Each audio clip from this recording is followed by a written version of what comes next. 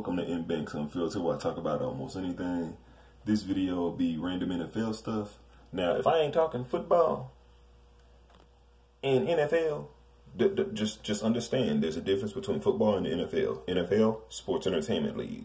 Football is football. So if it's some if it's not a football thing, it's something that's attached to the NFL in somewhat some way. oh, and then yeah, it'd be two reasons why y'all gotta separate uh you know talent from the person. But uh here we go with the first. Just uh yeah just a crazy just weird uh, tell me what you think when you meet me in the street so tom brady kissing his 11 year old son weirdly because you know you got your experts of the whole you know, you can't love him too much. Can't well, dude. The son is eleven though, and then just the way this goes though, like nigga, you get the massage, then you do the double kiss, nigga. That shit weird as fuck. In a documentary called Tom versus Time, there's a scene showing five-time Super Bowl winner Tom Brady getting a massage. Then his 11-year-old son comes in the room and asks him if he can check his fantasy football standings. I was wondering if I could check my fantasy team. Oh, and then I guess shout out to uh, CBS, the Masonic All Seeing Eye. And I remember that line in one of Mason, uh, the Mason himself, uh, Jay Z. Keep one eye open like CBS. I'm like, damn, y'all Masons keep on connecting everything. What do I get? Every now, Jack, everything comes at a cost, but That was like a peck. That was like the separation peg. by father and son prompted tweets from viewers using words like very disturbing and uncomfortably long. Nambla. New Yorkers what they thought. I'm a little uncomfortable with that. I think at a certain age, it's like, okay, you can kiss him on the cheek, you can give him a hug, you know, but not in the mouth and not for that long. Too long, too long, like romantic long. He's laying there naked getting a massage too. That makes it weird. Yeah. I kiss my son on my lips. I have since day one. You know, I would have no problem with my son kissing me like that. Life The nigga, the one with bird shit on his head is the only one that's in the agreement. The one that looked like he nothing around, the only one. style and parenting expert Liz Stern says she doesn't see anything wrong. If you kiss your kids too much, it's the wrong thing. If you kiss your kids too little, it's the wrong thing. If you hug too much, it's the wrong thing. Or you know, I think people need to back off and just stop parent shaming other people. Yeah, because she's a, you know, parenting expert. So, yeah, back off and quit parent shaming. But it's like, eh, people don't do what they want. And uh, it's like everybody wants somebody to back off of something, but people ain't. So, I guess I'm just one of them that ain't. Win win. When we spoke to, no one questioned Tom Brady's intentions toward his child, but they did seem to question the message he's sending with his actions. I don't think affection should ever be tied in with a favor. Carolyn Meyer Wartels is a licensed clinical social worker and parenting expert. She says when it comes to physical touch, the message we send our children should be clear. You don't do anything with your body because someone else is insisting that you do it in order for you to get what you want. Even if the person insisting is mom or dad. In Manhattan, Elise Finch, oh, I don't know, man. It's just crazy. Like to me, it's just too long of a kiss, and it's on the lips, and you get the massage, and he's eleven. Like I, I think I'm gonna cut the cord at like I don't know, probably seven or eight. I don't, but like eleven, definitely. We we he gonna have a dip. His mind state is gonna be way. I don't know what Tom Brady's son mind state was, but my son, I think he'll probably have that mindset of like, "Dad, it's kind of like like you on the cheek. Can we just you know shake hands or something, or you know, bro don't. But I don't know. I want to hear the sheeples though. Man, it's okay, man. Shit. I shit, I'm 75 years old. I still kiss. I'm like, ah, damn. Cause you know somebody gonna have something for something every time, or something for anything, to where I can bring up like the worst crime and somebody on this planet. Man, well, if you uh, Bill. Now, with these sports entertainment leagues being rigged, fixed, scripted, there do be some real stuff that involve these, like uh, the talent. But when people get, you know, jacklegged out of uh, making Hall of Fame, man, I'll be like, man, like they can't go back and put more numbers up, like. And then when you look at other people in the Hall of Fames that have lesser numbers, and then it's like they want to wait, like, oh, I got in on my third try, like, why? Like, what the every every Hall of Famer should be a first round ballot. Like, what is what is who's who's voting? Like, who's no, not this year, no, not this year. No, no, okay, yeah, he's a Hall of Famer now. Like, what the? He could have. He was eligible for. Yeah, but anyways, this is uh Drew Drew Pearson, uh, not making it after thirty years because I think he in now. I'm not too sure, but uh, but if he is cool, but I feel like, man, y'all only put him in because of this emotional, this emotional stuff right here. I'm just disappointed. I just can't believe it.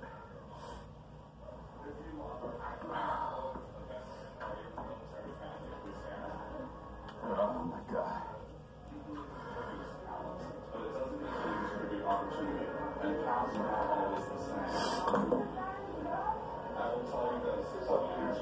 They won't get me again. They won't get me again. They won't get me like this again. This the last one.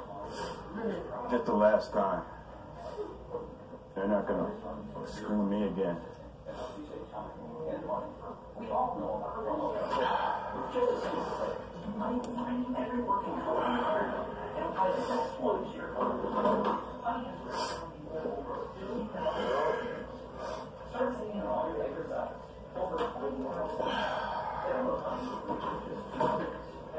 Oh man. I just want to thank everybody for coming anyway and being here. We thought we were going to have a good moment. We deserve that moment. Can't do nothing about it. Can't catch no more damn passes. Can't run no more routes. It's there. What upsets me more is when they say you don't deserve it, they talk negative about you. There's nothing negative about my career in the NFL. Nothing. How can you say negative things about it? That's what upsets me more. You put your hands in the fate, your fate in the hands of people, and you trust them to do it right. And I'm not saying those guys that got it, God bless them, they deserve it, each and every one of them. But man, it hurts. They broke my heart. They broke my heart. And they did it like this. They strung it out like this. I'm sorry. Sorry. Don't be sorry at all. The NFL sorry, nigga. That sorry ass sports entertainment league with that shit. Now the entertainment's cool, but I'm not emotionally or however I used to be attached to it as I used to be. Like I still remember a lot of stuff. Like we can go over like, you know, whatever happened then and when, just you know, what I know. But NFL been bullshit for a while. Like like when we won the Super Bowl with my squad in 2017, I was already kind of like, oh now, oh. Said uh, we done went to the playoffs so many years with Andy Reid, Don and shit, and then oh, oh, we won one, yay, with a different coach and a different quarterback and a whole different, eh, all that bullshit. But hey, we did it. Yeah, man. But this shit right here, I'm like, well, if Doug Peterson is acting, then he is doing a hell of a job. And this is the best actor I've ever seen. It. Well, I guess outside of you know the you know the, the top best actors, but yeah, I think uh, they be bullshitting with this Hall of Fame shit. So I don't know, man. NFL be tripping like a motherfucker. But let me let me move on. That's just, but again, that's just BS, man. Yeah, it's like they strung down and you know hopefuls and do all this build up and then just bam, the hang on him like, y'all on that buzz, shit, man. And here we go, another example of uh, you know, gotta separate the talent from the uh from what they do outside of the talent. Cause look, you got two 88s. One's a known cokey and one's a known mom beater. Build. All right, just a couple random, another couple two random picks. And I, I love uh, having three teams now, or at least you know my main team and then two other ones that I'm just cool with. But my second favorite team is the Patriots because they the main ones that I can point out certain stuff on how the league is rigged, fixed, scripted. So, and then that's the other thing people, well, your team and that, well, nigga, the league is like, uh, nigga, I, I got I got irrefutable proof that the league is rigged, fixed, scripted. But anyway, like, is, is this a catch? Like, cause, cause this is this on the ground. Like, you know what I'm saying? Like, is this a catch? Go watch this game. Go watch the highlights. I think this is the 2019 AFC Championship. Uh, this is the one where this is the year Mahomes won the MVP, and then the Patriots beat him in the playoffs. So I'm like, nigga, uh, when the Patriots went to those playoffs and played trash Jared Goff and only put up three points, uh, the Rams only put up three points. Mahomes could have had a ring uh, and MVP in the same year, but you know they had to woo woo woo. But uh, if you think this is a catch, then uh, I, understand your thought process is throwed off. but uh, yeah, just a, just a, just a little you know random NFL stuff, man. Is that a catch? In rig fix scripted referees' eyes, yes. In true competitive sport referees' eyes, no. What happened? Uh, the league proved to me once more, and should open up sheeple's eyes that uh, this league is not, you know, it's not, it's not true competitive sport. But you know, if you like it for entertainment purposes, then just say that. But don't be, you know, when I bring up how it's very, oh, oh, so you emotionally attached to this league, and when I bring up the fact about it, you get all butthurt. And you know I couldn't, you know, end it without this. You know what I'm saying? It's like, dog, that's a fumble. Do you think this is a fumble? Do you not think this is a fumble? You know what I'm saying? Like, even if the Patriots were my favorite team, I would be like, yeah, I'm glad we won, but I wish we would have won without no doubt, without no, you know, Spygate, without no. Just same thing when in 27 when my Eagles did win. Like, I wish we would have won without no doubt and having Malcolm Butler, the difference maker in the previous Super Bowl, uh, playing this Super Bowl. But hey, let's just win this one without the uh, DB that made the game changing interception on that bullshit ass not give Marshawn Lynch the ball uh, shit. But hey, but yeah, so here we go. You know what I'm saying? It's like you see the ball stop, boom, and then he what?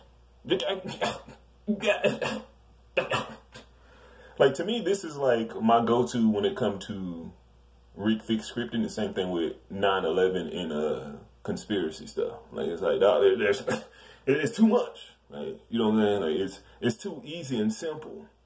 But it's like Sheeple fans would say this is not a fumble or that Hogan catch wasn't a catch. But uh, it's like people that don't even know the sport. If I just break down what the fumble is and what this what this is and the uh, you know the ball not moving out of his hand and the motion and all that bull job, it's like they would be like, okay, then yeah, it's a fumble. So it's like people that ain't even in it. Like I'll be showing them this and breaking it down. They'd be like, okay, yeah, he fumbled. But then and then there's true fans that's like, yeah, that that well that was a fumble, that was big. And then there's just the sheeple magnetic robot. No, I wasn't a fumble. No, like, okay, it's like I can't believe people be like this dumb. But then it's like they know how to, you know, look both ways when they cross the street. Some of them, or know how to pay bills.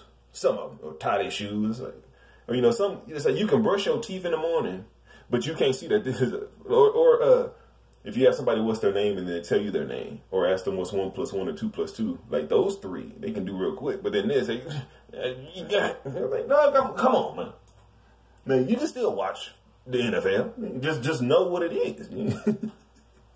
Inter, uh, sports entertainment league, but like, I'm gonna still watch, but I don't even watch like I used to. I just be watching highlights now. Like I'll wait the next uh, Monday morning and then just scroll through TubeView and go anywhere and just watch the highlights. Like, and I, I hate the commercials so much now. Oh, I always hated commercials. So when I be watching highlights in the commercial, but I'll be mad. I'll be way mad. But, uh, but yeah, man, that'll be it for random NFL stuff too. I hope y'all learned something. If not, I don't give a damn. Hope y'all enjoyed it. If not, I don't give a damn. uh, but yeah, man, y'all be cool. Keep your stress low. Don't be scared of nothing. Be prepared for everything. Peace.